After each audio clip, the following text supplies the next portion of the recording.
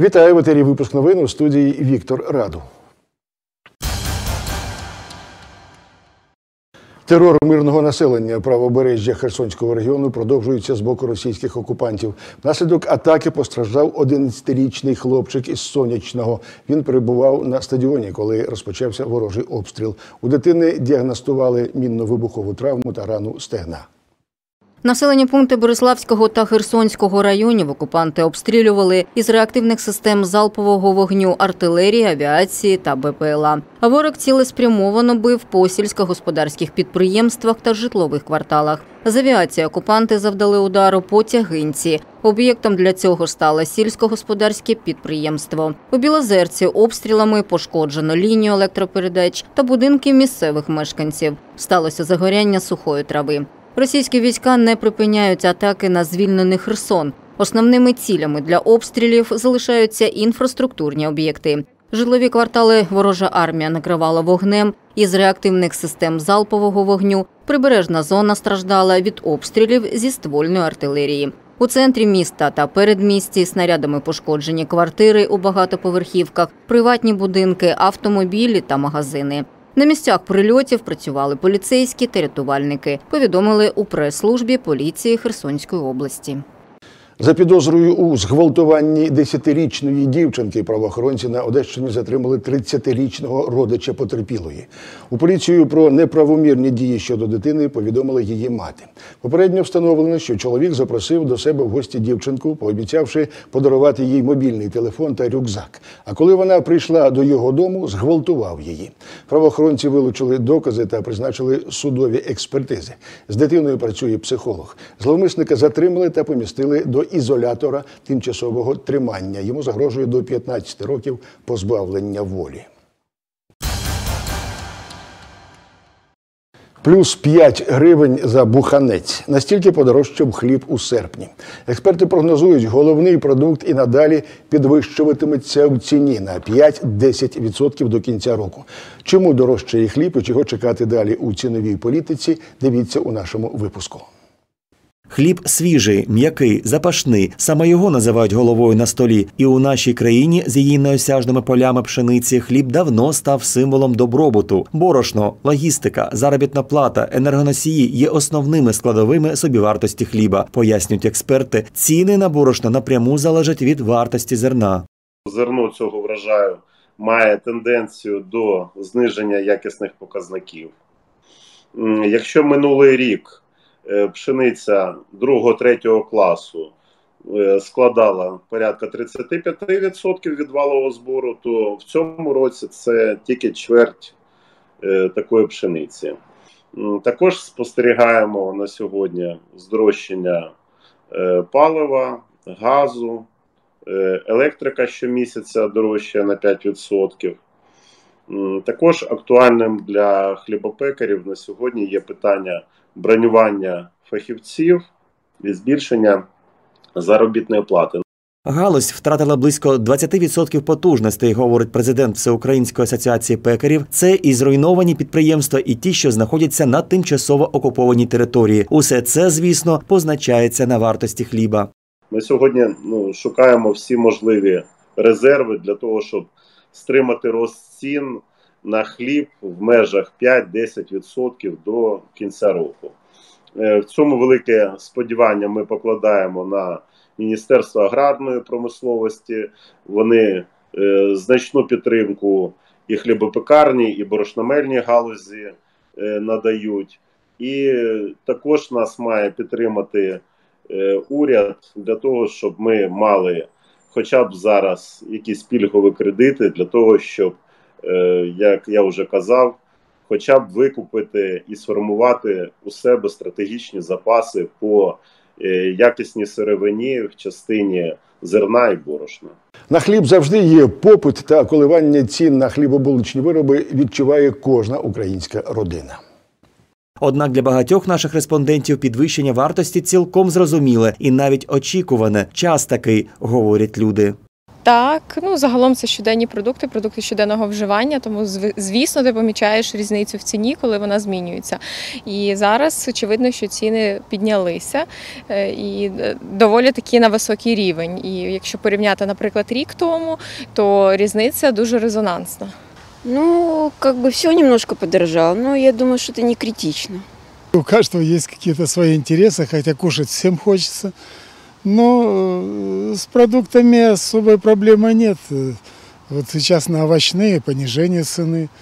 Вот. Ну, где-то там повышение, где-то это обычный процесс. Дякуючи Богу, поки є можливість, все-таки нам ну. Ми маємо можливість, але багато людей, які не матимуть таку можливість. болюче питання, бо е, ціни ростуть, і це, звісно, обумовлено. Е, Це не тільки в нас, е, це у всьому світі відчувається, бо ця війна вона не тільки тут, вона виходить десь дуже далеко за рамки нашого, нашої країни. Але ми маємо такий характер, що ми приспособлюємося до таких змін, і ми стійкі, і ну ціни так, вони відчуваються. І... Але е, по характеру українці дуже сильні люди, які е, продовжують життя. За сім місяців цього року хліб здорожчав на 15%, підрахував Держстат. А у серпні деякі виробники підвищили ціну на хлібобулочні вироби одразу на 20%. І надалі тенденція до збільшення вартості збережеться. До кінця року хліб здорожчає ще мінімум на 10%, прогнозують експерти. Одна з основних складових собівартості хліба це борошно. А добрий продукт безумовно виходить із пшениці відмінної якості. Процес створення сортів зернової культури вважається надзвичайно складним, як з наукової, так і з технічної точок зору. Все починається буквально з одного колоска, одного зерна, а потім йде поетапне вивчення кожного генотипу. Селекціонери досліджують близько 40 тисяч таких генотипів на рік. Зараз спеціалісти демонструють процес під назвою індивідуальний добір кращих генотипів. Так селекціонер бачить рослину, як вона розвивається спочатку і до того моменту, коли вже зібрали врожай. Спеціалісти обробляють до тисячі колосків на день. Ми кожен колосок обмолочуємо для того, щоб попало на все, щоб попало на посів. Потім дивимось. Після обмолоту ми дивимось і прокулюємо. Ой, колосок. Естественно, Оцей, оцей, це йде в брак. Оцей. Тому що тут нам ніяк е, для посіву нам це не потрібно. Тут дуже мало колосків. Потім ми беремо оцей колосок. Оцей. Цей колосок дуже якісний дуже. Ми його обмолочуємо. Обмолочуємо. Чистимо.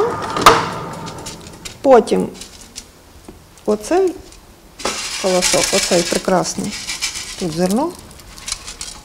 Прекрасно. Оце йде на посів. Оце з одного колоска один рядочок. Наступний етап комплектація або початковий процес формування селекційних розсад. Бачите, ці ячеєчки, вона засипає туди зернівки, потомство одного колосочка, який потім спеціальною технікою буде висіяний окремо на полі, де е, створюються спеціальні розсадники, і ми починаємо працювати в полі. Далі розсадники розмноження сортів проходять державне сортовипробування. Врешті-решт закінчується тим, що через 10-12 років ми отримали лінію, яка задовольняє по врожайності, по якості, по, зимос- по всіх показниках. І ми її розмножуємо і передаємо в державне сортове пробування, щоб вона в конкурсі з усіми сортами, які створюються і вітчизняними науковими установами, і державними, і приватними. І на сьогодні на ринку нашому працює ще більше 30 зарубіжних фірм. Ми повинні бути першими. Завдяки плідній роботі вітчизняних селекціонерів Україна має найбільший в Європі генофонд і сортовий асортимент різних культур, стверджують спеціалісти. І як результат, наразі врожайність зернових культур в країні підвищилася у кілька разів. Одразу три трамвайні маршрути перестануть курсувати через реконструкцію перехрестя вулиць Старопорто-Франківської та Пантелеймонівської. В Одесі, як мінімум, до 20 жовтня не ходитимуть трамваї номер 5, 17 та 28. В Одесі практично до кінця жовтня припиниться рух трьох трамвайних маршрутів. Це пов'язано з реконструкцією дороги біля кінотеатру Родіна, а саме перехрестя вулиць Старопортофранківської та Пантелеймонівської. Тут планується провести роботи із заміни рейок, через що і перекриють проїзд, повідомили в Одеській мерії. Трамвайні маршрути номер 5, 17 та 28 не ходитимуть з 6 вересня, як мінімум до 20 жовтня або другого терміну закінчення робіт. Про якусь транспортну альтернативу популярних трамвайних маршрутів мови поки немає. Чоловіка, який у п'яному вигляді викрав автомобіль та спровокував ДТП на Одещині, затримали правоохоронці. Внаслідок аварії тяжкі травми отримала дитина, пасажир авто. У 11-річного хлопчика перелом основи черепа, забій головного мозку та рвані рани на обличчі. З моменту аварії він не виходить із коми. Раніше того дня винуватець ДТП розпивав спиртні напої з батьком потерпілої дитини, з'ясували правоохоронці. Коли господар авто відволікся, чоловік запросив його 11-річного сина покататися автомобілем батька, який завів ключем, адже автовласник залишив його в замку запалювання. Чоловік у нетверезому стані поїхав з дитиною. Дорогою не впорався з керуванням, а в результаті ВАЗ врізався в бетонну огорожу мосту. 11-річного хлопчика госпіталізували у тяжкому стані. Дитина перебуває у комі. Аналізи водія показали у його крові 3,36 проміли алкоголю. Правопорушнику повідомили про підозру. Йому загрожує до 8 років позбавлення волі. Повернути культурні багатства до Херсона. Акція збору українських книг для деокупованих територій триває. Понад півроку мешканці різних областей України приносили літературу до бібліотек, щоб потім відправити книги до Херсона. Сама акція вже давно вийшла далеко за межі нашої держави. Акція Українська книга для бібліотек Херсонщини розпочалася більше півроку тому, коли мешканці Одеси та області стали збирати літературу як для дітей, так і для дорослих. Основна мета наповнити книгосховище бібліотечних закладів звільнених територій, в тому числі міста Херсон. На цей час готовий для відправлення екземплярів назбиралося понад тисячі. Їх складають та готують у дорогу. Молдавська казка українською мовою. А мусульман нет? Мусульман, ну там є кілька книжок з мусульманськими. Е, історія Корана є, мандри історія України, бачите? Я вбираю найкраще. Так, чудово. Моє місто, бачите, це такі прописи, що да. Працівники бібліотеки імені Грушевського залюбки компонують книжки за розділами та темами, складають їх у бокси. Співробітники закладу одразу долучилися до благородної справи. Ми прочитали багато інтерв'ю до ректора Херсонської обласної бібліотеки імені Гончара про те, як бібліотека трималася під час окупації, як окупанти знищили і вивезли самий цінний рідкісний фонд з бібліотеки, як вони вкрали навіть е, будь-які залишки цукру, кави, е, чаю у співробітників, як ми, як жінки, залишаємо завжди в себе. Ну ми не могли просто на це не відгукнутися, тим більше, що наша бібліотека стала тією локацією, де ми збирали ці книжки. Ми долучали більш громадські організації простих громадян. От коли е, у нас тут був Одеський інститут соціальних технологій, він долучився також до цієї акції. До книжкової акції долучилися і партнери з Молдови. Також передали видання українською мовою. Книжки завжди були і залишаються чарівними вікнами в світ знань, фантазії та можливості. Сьогодні мені приємно передати ці книжки маленьким мешканцям Херсону. Акція Українська книга для бібліотек Херсонщини залучила чимало учасників з інших держав. Понад 1200 книг на загальну суму майже 200 тисяч гривень уже зібрано у рамках акції Українська книга для бібліотек Херсонщини. В Одеській бібліотеці щиро радіють з приводу того, що можуть допомогти своїм колегам на Херсонщині. Також саме завдяки такій масштабній акції заклад знайшов дуже багато нових друзів. Дуже е, радіємо з того, що ми маємо таку, е, хай це ще невелика можливість, але все ж таки можливість їх порадувати тим, що ми їм е, надамо оці прекрасні книги. І крім того, що ми радіємо з того, що ми допоможемо Херсонщині, ми ще дуже радіємо з того, що ми поширили коло своїх друзів, і мусульманська община, і багато інших, і молдавані, і грузини. І усі з радістю приходять до нашої бібліотеки і привозять чудові, чудові книги. Працівники культурного фронту Одещини відгукнулися на такий запит ще завзятіше, коли дізналися подробиці того, як ворог під час окупації знищував духовні скарби, цінні видання. Цю ініціативу підхватила дуже велика кількість людей.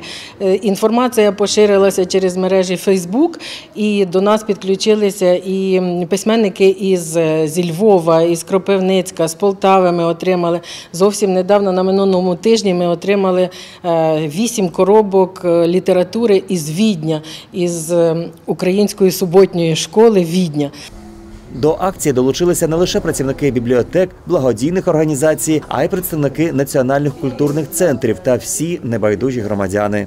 Це зовсім різні люди. Це і просвітяни, це е, соціальні працівники, це національно-культурні товариства. З нами е, єврейські товариства, грузинські, польські, болгари, гагаузи і так далі. І так далі. Тобто, це люди, які. Хоча не є етнічними українцями, але вони зрозуміли, наскільки важливою є українська книга, українське слово і українська мова, яка є нашою державною мовою. Кількість зібраних видань сягнула понад 1200 примірників, і ця цифра постійно збільшується. Організатори акції зараз ведуть переговори з бібліотеками Херсонщини та розробляють логістику. Вже зовсім скоро книжки матимуть нову домівку. Виїхали до Молдови, а потім вирішили повернутися. В Одеській області на кордоні затримали чоловіків, які намагалися незаконно потрапити до України.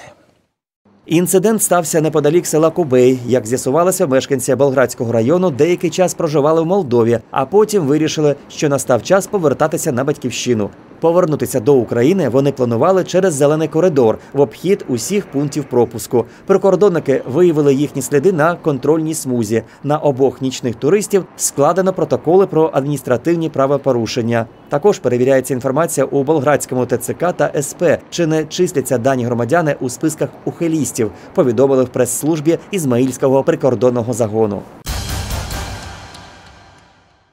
Мельпоменній Таврії вже 25 років. Цього року легендарний театральний фестиваль повертається до рідного Херсону та пройде під гаслом Ми вдома. 8 вересня масштабна подія відбудеться одночасно у 25 театрах країни. І Одеський академічний український театр імені Василя Василька буде одним із них. Мельпомена Таврії це справжня театральна богиня, яка вже чверть століття живе в Херсоні та збирає навколо себе велику кількість талановитих театральних гуртків з усього світу. За 25 років існування фестиваль жодного разу не був скасований або перенесений. Навіть воєнний стан не зміг зупинити гаряче серце Мельпомени, говорить президент міжнародного театрального фестивалю. У нас всього в театрі шість сценічних майданчиків. І ми мріємо про той час, коли ми вийдемо і заповнимо їх всі, але поки не можемо.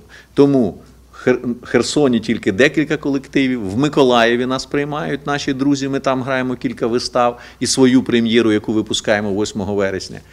Ми її зіграємо е, в Миколаєві, потім приїжджаємо в Одесу.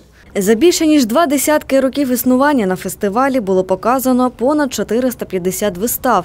Його майданчиками стали близько 220 театрів зі 100 міст. Долучалися культурні заклади не тільки України, а й з більш ніж 20 країн світу. В цьому році Мельпомену Таврії відкриють одночасно 25 театрів нашої країни. На фестиваль подали більше 80 заявок. До конкурсу взяли 68 театрів. Більшість з них будуть грати на своїх майданчиках. Олександр Книга згадує, як минула 20-та ювілейна Мельпомена Таврії, коли країна ще не знала горя війни.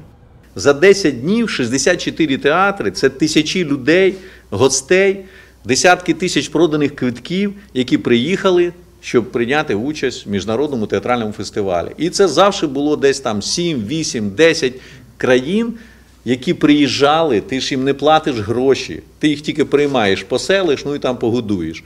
І вони їхали з Португалії, з Франції, з Румунії, із Туреччини їхали для того, щоб побути в цій от нашій тусовці, запалитись від наших сердець і знести це знамено. У перший день фестивалю Херсон традиційно перетворювався на карнавальний майданчик. Мешканці та гості міста з нетерпінням чекали на відкриття мельпомени Таврії. В театр ходили мало, а мені дуже це е, мене е, засмучувало. І я сказав: а давайте вийдемо. Всі, хто приїде, там кілька театрів приїхало, вийдемо на центральну площу. Нас побачать люди в костюмах і скажуть, що це таке. А ми скажемо, а це театр, ми фестиваль. І от ми вийшли на площу в костюмах. І тут мене розшукує мобільних телефонів, тоді ще не було. е, Від губернатора, від голови обласної адміністрації, секретар і каже, вас викликає голова. А це в нас на площі. Там, де я піднімаюсь до нього. Він каже: Ви що, на забастовку вийшли?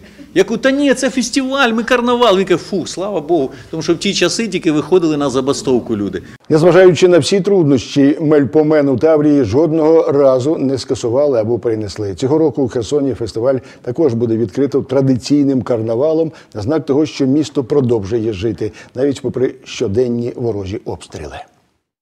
Одним із фестивальних майданчиків у 2023 році стане Одеський академічний український музично-драматичний театр імені Василька, в якому, зокрема, покажуть і нову виставу від херсонців. Театри об'єднуються в скрутну годину та підтримують один одного, говорить Олександр Книга. Так, Херсонський театр працював навіть попри окупацію рідного міста і зараз, незважаючи на постійні обстріли регіону, продовжує свою роботу. Так і актори Чернігівського драматичного театру, який постраждав внаслідок ворожого обстрілу, все одно візьмуть участь у фестивалі Мельпомена Таврії. Коли сталася ця трагедія, ось буквально кілька тижнів тому з Чернігом, я переживав, що ну, ну як? Я отримую смс-ку від хлопців Олександра Андрійовичу. Ми граємо виставу. 8 числа ми, як заявляли, ми граємо виставу. І вони присилають цей кліп. От я вам рекомендую, подивіться, ми його і на своїх сторінках там запостили. І зараз навіть там комітет Верховної Ради мені тільки що зателефонував. А дайте нам, ми хочемо, тому що сподобалось, де вони зняли кліп, де актриса на даху театру знищеного говорить там певні слова і показують цей дах. І ти розумієш, наскільки от, да, ми, ми, нас, нас не зламати ні в чому, не, не подолати просто. Міжнародний театральний фестиваль Мельпомена Таврії став по-справжньому мультикультурним, об'єднуючи різні види мистецтва. Упродовж тижня працюватиме літературна сцена в семи містах України, а також заплановані заходи музичної платформи з рок-гуртами та бардами. Все це можна буде побачити, зокрема, і в Одесі. У нас буде літературна сцена обов'язково, тому що письменники наші українські, фактично всі побували на Мельпомені. Народилось багато проєктів. Наприклад, от заборонений е, це від роману. Спочатку е, Дзюба і Кирсанов зняли фільм заборонений, презентували його на Мельпомені. На Мельпомені ми домовили, що напишіть хлопці п'єсу. Хлопці написали п'єсу, і от пройшло не так багато 4 роки. Ми випустили прем'єру зараз на сцені театру Кропивницького.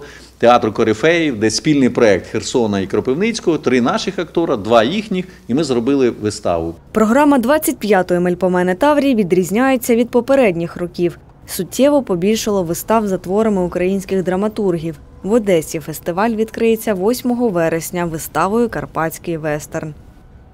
Робота музею без постійної експозиції. Таке важко було уявити у мирні часи, але за умов воєнного стану це реальність. Музей західного та східного мистецтва в Одесі продовжує приймати відвідувачів, пропонуючи різні формати зустрічей. Це і лекції, і показ фільмів, і різноманітні виставки. Нещодавно тут розпочали цикл презентації шедеврів. Фактично, це демонстрація однієї картини. Музей західного та східного мистецтва в Одесі зараз перебуває на етапі ремонтно-реставраційних робіт.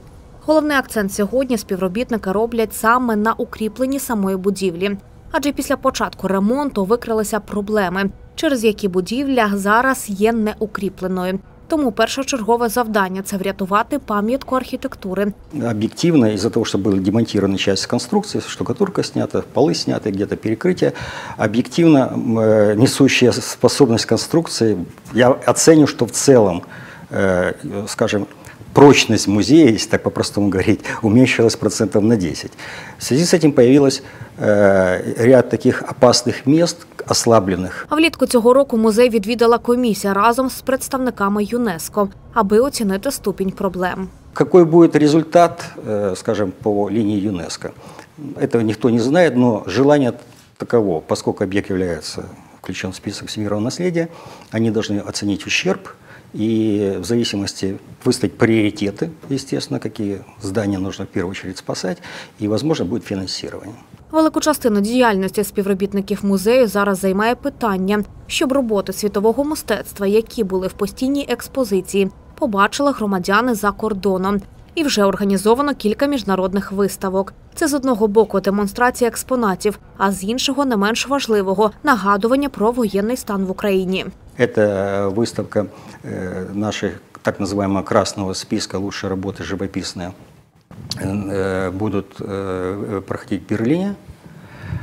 Вторая, вторая выставка в декабре открывается, уже все сделано, работы уже там отреставрированы, подготовлены, с- э, э, сделаны даже зал специально в, в Литве, в Вильнюсе, в Национальном музее.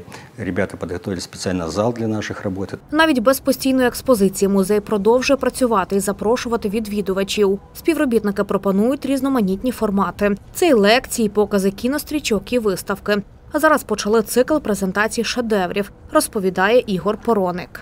Из главного основного фонда э, берем од- одну из работ и представляем ее как в программе э, вы- встречи с одним шедевром. То есть выставляется одна работа, и о ней рассказывается все, что мы знаем, грубо говоря.